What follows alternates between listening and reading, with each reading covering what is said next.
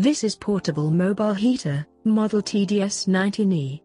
This smart device is one of a kind with its heating solution which is particularly designed for construction trailers, workshops, warehouses and other applications.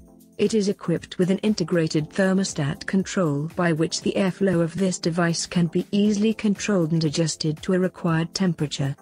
It releases heat without taking any oxygen or producing ignition gases which make it perfect for domestic use. Here are the main features of the device. It has two heat settings for temperature control. It features with fan function. The device is small, portable and easy to transport.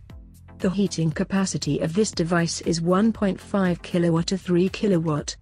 The temperature increase will be up to 32.6 degrees Celsius. The device ensures smooth operation as it is integrated with cable connection. The fan motor is fitted with an effective thermal protection, and the reliable overheating protection adds more safety to it. With the tough texture and design, this device can be efficiently used in rough environments.